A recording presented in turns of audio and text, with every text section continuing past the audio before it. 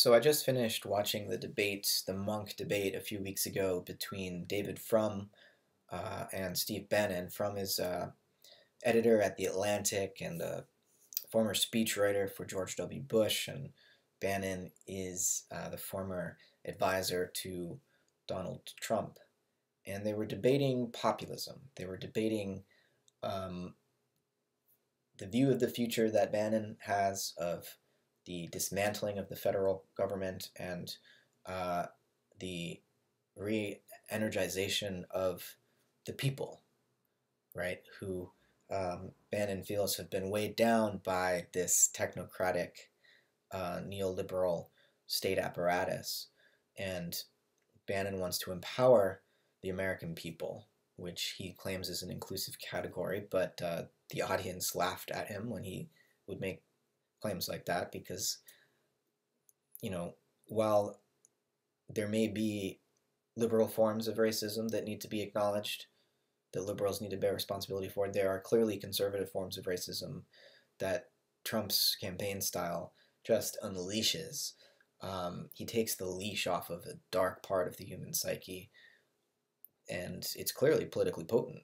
So to pretend like um, the Trump vision for America is inclusive is is just absurd.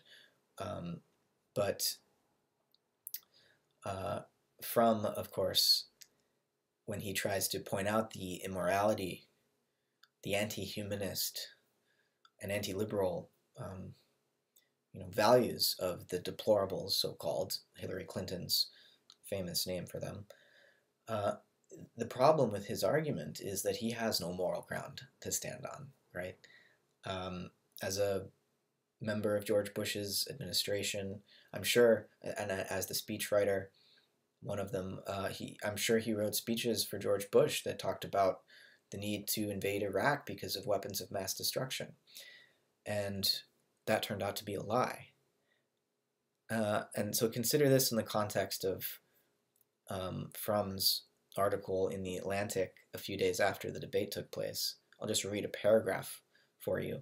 Um, he says that integral to the liberal project, again, the classical liberal project enshrining the rights of individuals and um, enshrining the free market as the space within which those individuals would realize their happiness, um, and the role of governments just to protect free speech and free markets. That liberal project from rights, uh, that integral to it is confidence in the power of reason.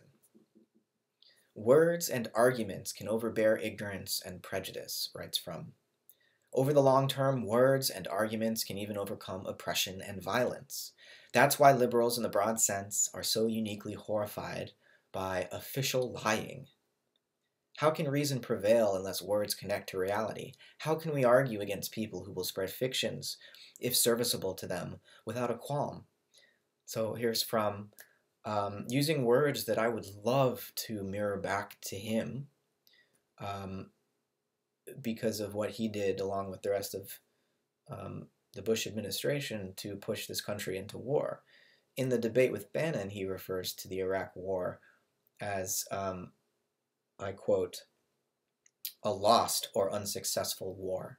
So, you know, he acknowledges bad idea, shouldn't have done it well, why shouldn't we have done it? Well, because it was unsuccessful, and we we could have, if we did it better, we would have had a better plan, and we would have won the war, right?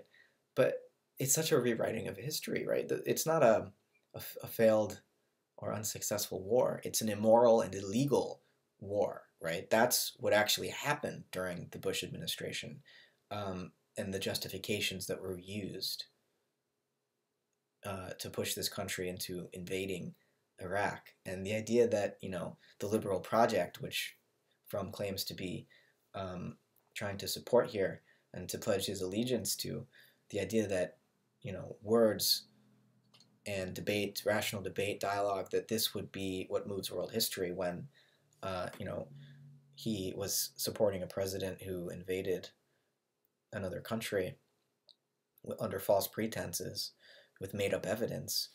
Uh, you know, what do you call Operation Shock and Awe? Yeah, it's it's a couple of words, but they're pretty Orwellian words. And instead of, you know, entering into dialogue with the people of Iraq to hear from them how they would like to determine their future. And I'm not saying that would be easy with Saddam Hussein, a dictator that, of course, the United States put into power. Um, with someone like him there, it's not going to be easy to just give those people control over their own destiny. But, you know, to not use words, but to invade and use bombs uh, and missiles and 150,000 soldiers doesn't sound very liberal to me. So I don't know if Frum is the best defender of these values against someone like Steve Bannon. Um, but all I want to add to this debate is to say that uh, I think Bannon is right in his critiques of neoliberal capitalism, corporate capitalism. I think he's he's wrong that nationalism is somehow going to save us from that. Um, I think Frum is perfectly right in his criticisms of the Trumpian worldview as um, immoral.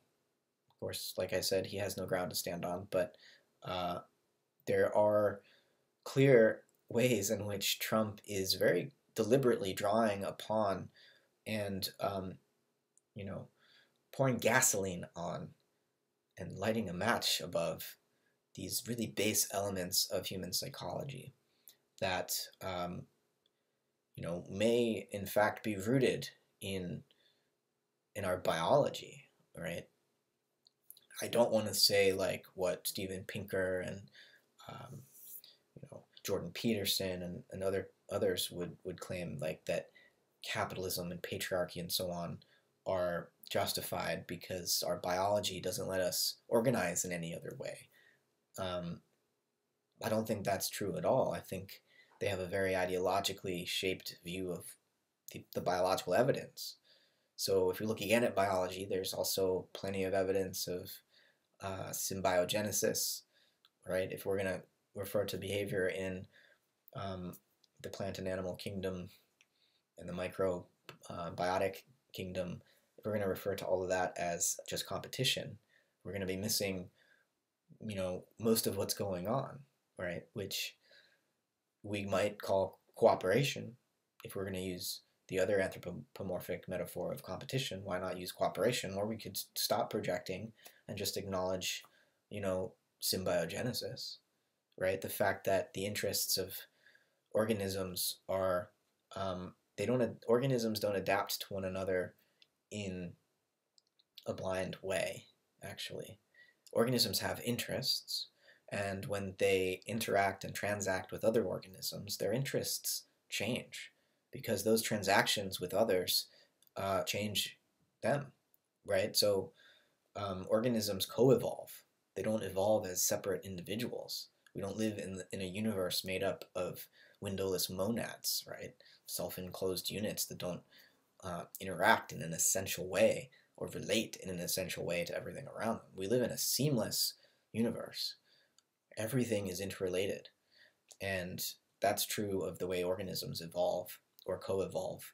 And human beings, you know, we can enshrine the value of the autonomous rational individual.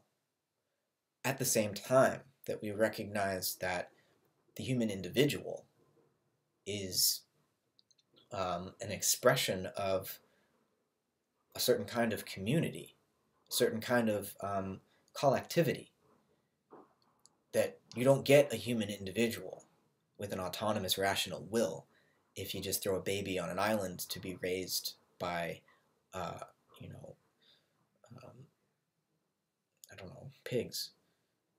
So not to put pigs down, because you know there's a, there's something about human nature, and you know uh, Franz von Baader, quoted by Friedrich Schelling, once said that human beings can only be morally superior or inferior to animals um, because our freedom allows us to choose to do good or to do evil. And if we do evil, we don't become pigs. We become worse, lower, more uh, base, even than, than a pig, right? So it's an insult to a pig to compare a gluttonous human to a pig, or an immoral human to a pig. And the moral superiority of human beings, it's not to say that um, animals don't have value. The superiority of the human in, on this reading would come from our freedom. And freedom is a is a scary power because we don't have control over it, it has control over us.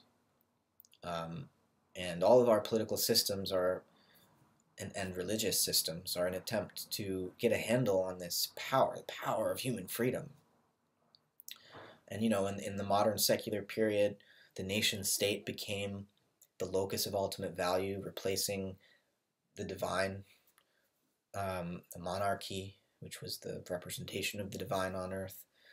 And the individual was empowered as the one who's supposed to partake of democracy, of the miracle of representation, where we vote and our representative, um, and you know, sort of enforces our will in the creation of laws and the enforcement of laws and the judgment of laws and so on. Um, that's the dream of the modern nation state enshrining the rights of individuals.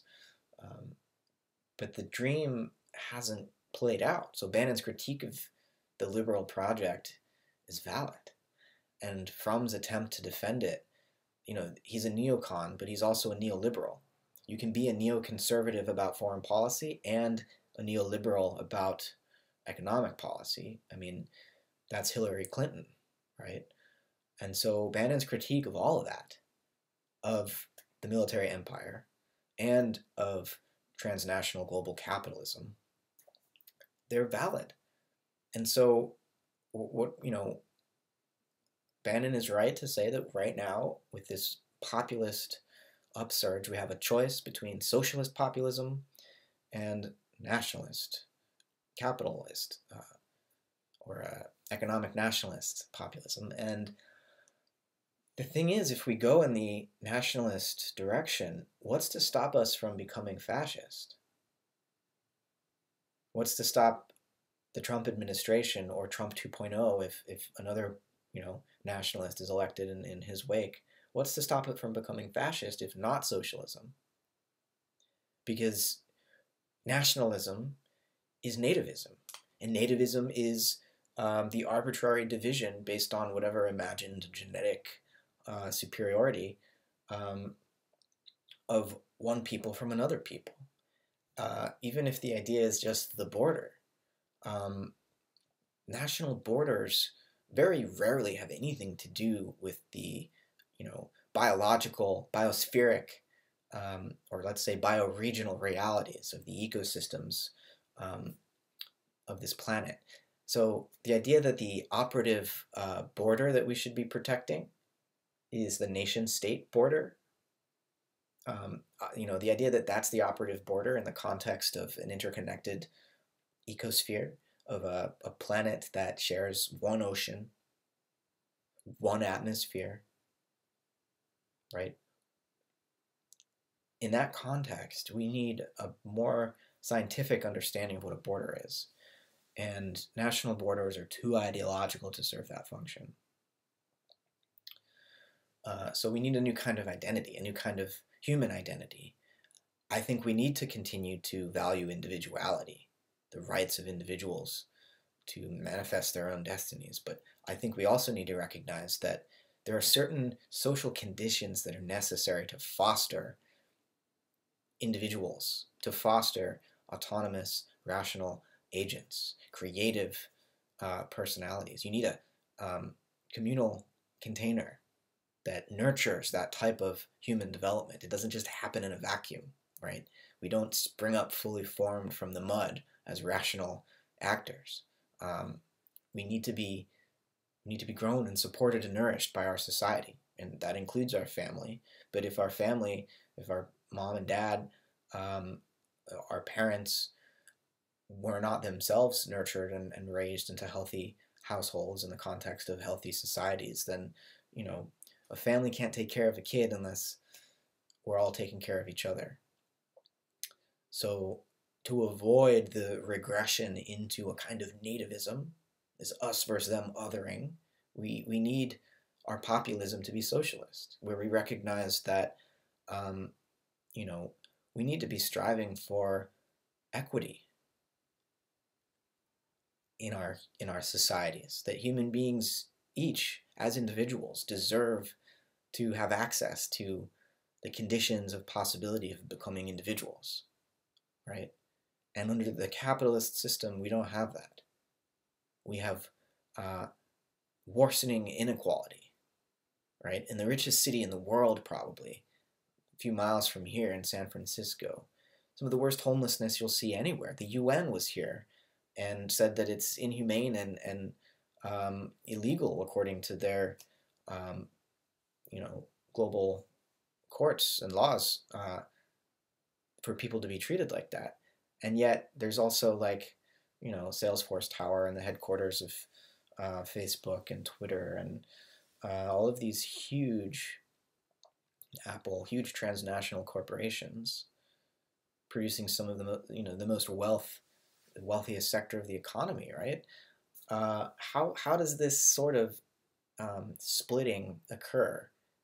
And you know, Marx had an had an analysis of the contradic contradictions inherent to capitalism, and um, the economic crash that's coming is is really going to um, speed up a process that's already moving a million miles an hour, and there's no hiding from the populist tsunami. And if if you know we don't get more alternatives to the type of rhetoric that Steve Bannon is deploying that are honest about the failure of neoliberal capitalism, if we don't get people willing to speak to um, economic inequality and class issues, then the nativists are going to win, right? So that's all I want to say. And just, you know, that there are deep questions about uh, what democracy means in the new media ecology within which we exist, where there are no um, filters. Like legacy media, they're still trying to use their control over um, their medium to leverage their message. New York Times, Washington Post, CNN, Fox News, whatever, you know, they have their audience and they're still potent sources of, um, you know, ideology and opinion making. But the way that social media and the internet has um, allowed people to retribalize so that there's not mass media anymore where um, you know the message that advertisers and that cultural elites want the rest of the population to have is what they're fed and they have no more channels to turn to now there are infinitely many channels now everyone has the tools to produce their own media to make their own opinions and reach their own audience. So things have been radically democratized in a way. And that's scary because it may upend our values and it calls everything into question. So now we need to ask these questions like, you know, if modernity was about the nation state and the individual, what is this new cultural epoch or civilizational period that we're entering into going to look like? If we don't want the nation state in power, if we don't want the corporation in power, if we need to recognize this necessary social context for there to be individuals at all, where do we go from here? And I think it looks something like, you know, Murray Bookchin's libertarian socialism, um, a kind of uh, politics of nature or of ecology that reads the science of biology in a different way. That's um, not looking at the biosphere and saying, oh, see, like all the organisms, they're capitalists too, right? And it's just this struggle for existence among atomic individuals.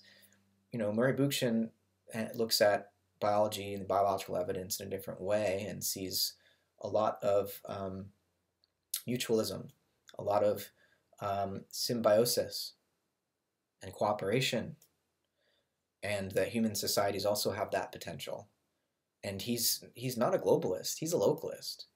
And there's a way in which you know um, libertarianism and democratic socialism I think, need to recognize their shared interests and begin to um, shift us away from the dangerous extremes that we're playing with at the moment. So um, that's all I have to say.